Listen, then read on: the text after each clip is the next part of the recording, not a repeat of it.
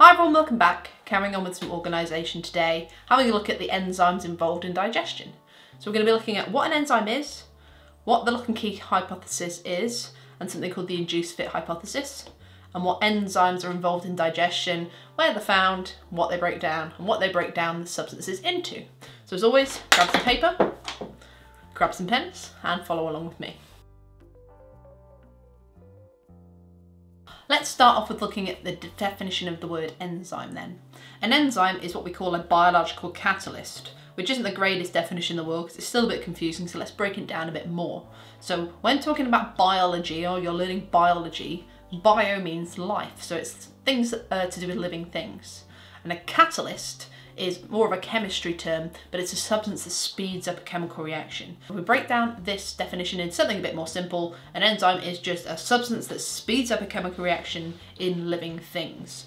In terms of what we care about in digestion, the chemical reaction we're talking about is breaking down large food molecules into smaller ones.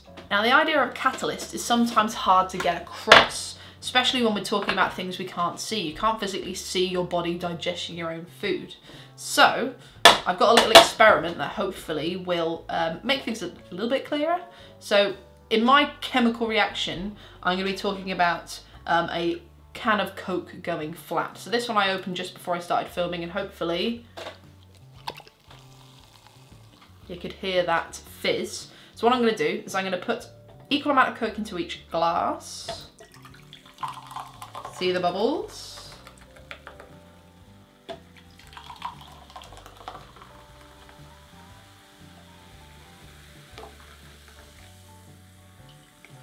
Okay, so in my chemical reaction, I'm saying that my end product is that the Coke has gone flat.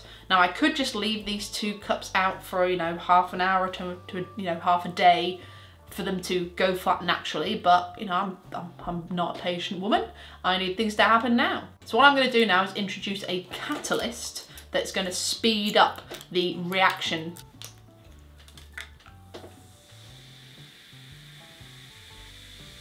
So what you hopefully can see is the one on the right, on my right, is reacting much faster and much quicker. There's much more bubbles forming, more gas is being released, and this one would go flat much faster because of the catalyst. Now, Rennies aren't really a catalyst for Coke, it's not actually a chemical reaction, but it does demonstrate it much nice, uh, very nicely. Before we delve into the beautiful and wonderful world of digestive enzymes, let's have a look at generally what enzymes do, because it can be quite hard to get your head around. So, in my diagram, I'm drawing out an enzyme. It's got a special area on it that I'm doing in orange called an active site, and then the red bit is what we call the substrate. Now the substrate is just the substance of the enzymes acting on, so in digestion your substrate will be your protein molecule or it'll be your sugar molecule. Um, the enzyme itself can be reused and its shape is always specific so matches what it's breaking down. And the bit in orange the active site is just the special term we give for the part of the enzyme that actually physically joins to the substrate in order to break it up.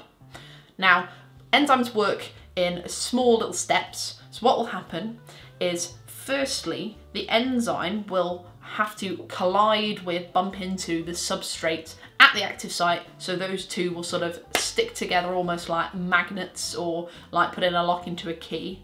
What will happen then is the enzyme will then break the bonds of that substance. So if it's lots of sugars all joined together in a carbohydrate, it will break the bonds between those sugars. So you end up with individual little sugar molecules rather than a big long chain of sugar.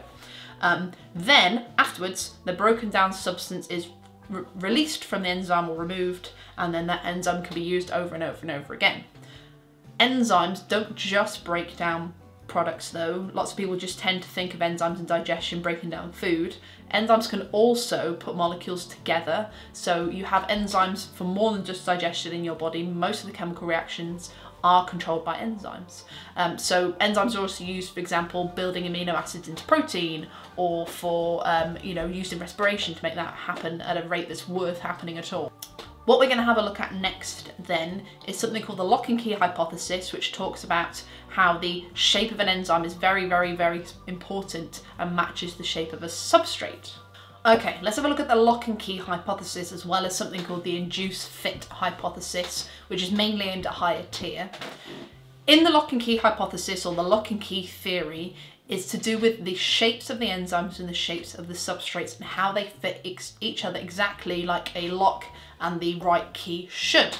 So in my diagram, the big green blob is our enzyme and I'm drawing a number of substrates as well.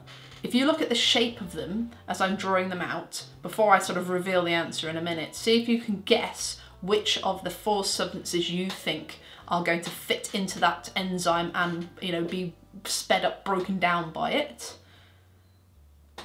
Hopefully you got the answer right. The other ones didn't fit because their shape is wrong. If you look at the enzyme, the active site, so the bit that sort of goes in, has a circle and a square shape. So only substance 2, so a substrate 2, that has the circle and the square shape is going to fit.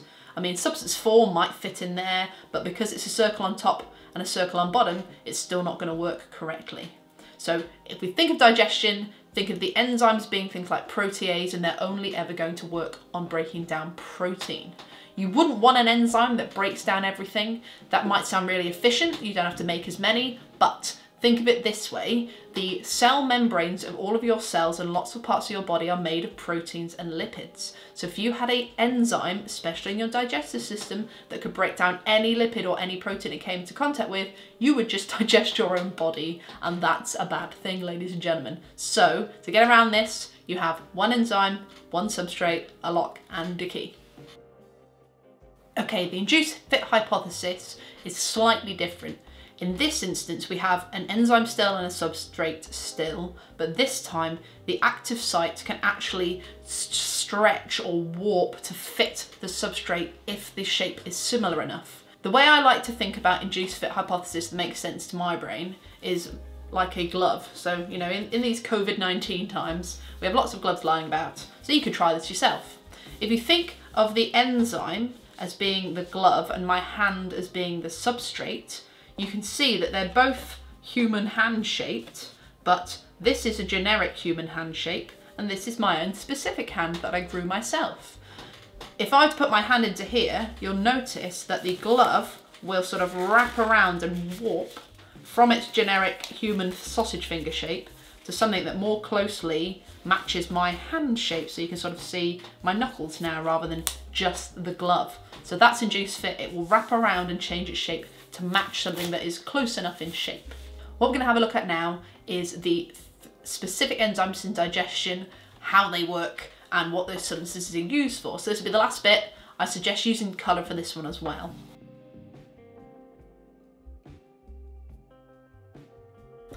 Last part of our lesson today then is looking at the specific enzymes in digestion. So there are three main ones you need to know. Amylase, lipase, protease. You might have also heard of carbohydrases, but carbohydrase is sort of like an umbrella, a larger term for different um, carbohydrate-based enzymes. Amylase is an example of a carbohydrase, so try not to get the two confused. So our first substance is starch, so long chains of sugar, carbohydrates as well. That gets broken down by the enzyme amylase, that breaks the bonds and turns that long starch into lots of little glucose molecules, which are then small enough to diffuse across that villi in the small intestine. Remember those villi are there to make the surface area nice and big for maximizing or absorbing all those beautiful nutrients into your body. Glucose is then going to diffuse and then that's going to get used in your body for things like respiration, for example. Protein is made up of lots of different units. This gets broken down by protease, another enzyme. This breaks it into amino acids. Those amino acids then diffuse across the intestinal wall through the villi into those blood capillaries and then that is taken off to the body and used for growth and repair. Lipids or fats are broken down by their own enzyme called lipase or lipase, you might call it.